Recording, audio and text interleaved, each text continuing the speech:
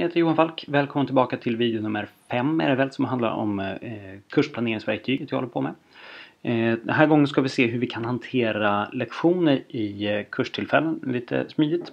Vi har här samma kurstillfälle som jag hade eh, i förra videon. Det var igår för mig men för dig förmodligen bara 30 sekunder sedan. Eh, matte 2B våren 2013. Jag har ju fyllt på det här nu eh, så att vi inte bara har repetition från matte 1B här i tre lektioner utan också eh, funktioner, introduktion till funktioner i, i fyra lektioner. För jag tänkte att det var bra att ha. Eh, och sen händer någonting som händer då och då för mig. Eh, om du är mer erfaren lärare än jag så händer det nog inte lika ofta. Men det som händer är att jag blir tvungen att flytta om i min planering. Jag känner att vi måste lägga en lektion till på att repetera grejer från matte 1B. Och då blir det massa eh, klipp och klistra och sånt där i det Excel-ark man har för att sköta sin planering. Men om du har din planering här på kursplanering.se så kan du göra så här istället.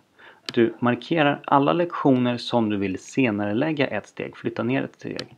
Och i mitt fall så är det då alla utom de här fyra första. Jag vill knuffa in en lektion här emellan så jag flyttar ner alla de här ett steg. Och det betyder att lektionen längst ner den kommer försvinna. Det är så det blir och sen knuffas resten ner. Wow, ett steg. Ska vi se. Allting här, flytta ner ett steg. Push lessons down.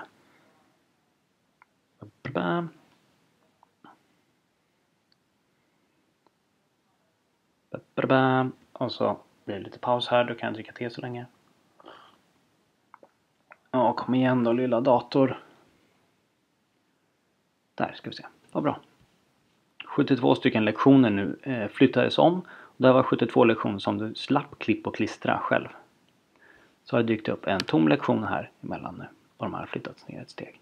Jag kan gå in här och ändra den här lektionen och säga att repetition från matte 1B extra lektion.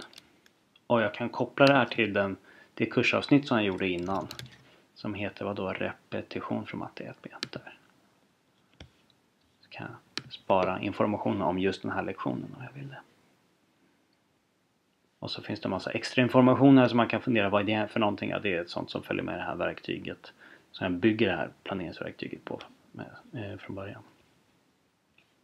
Så, då finns den här inlagd och den länkar till mitt, mitt kursavsnitt här.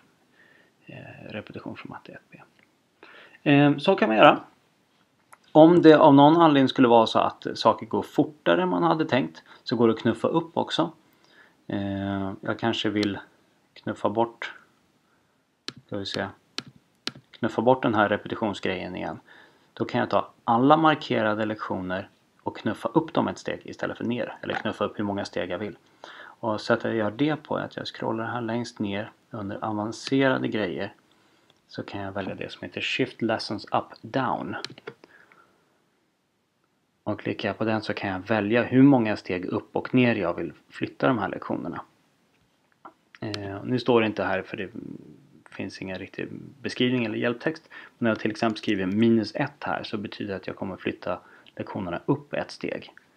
Jag kan ange hur många steg jag flyttar neråt och skriva minus 1 så flyttar jag uppåt istället. Nu tänker jag inte göra det. Ehm, så, eh, det var nästan allt jag tänkte visa den här gången. Jag tänkte visa en sak till. När du har din kursplanering så här, eller ditt kursupplägg, så kan du få en överblick över hur lektionerna ser ut.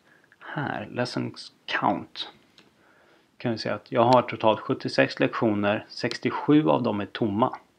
Och när vi tittar på kursavsnitt hur det här är fördelat så är det en lektion som inte har något eh, kursavsnitt alls. Det är min här första introduktion till matte 2B. Jag har inte kopplat till något avsnitt. Och sen har vi fyra stycken lektioner på de här två avsnitten. Och det var det. Ehm, kom ihåg att eh, kursplanering.se finns.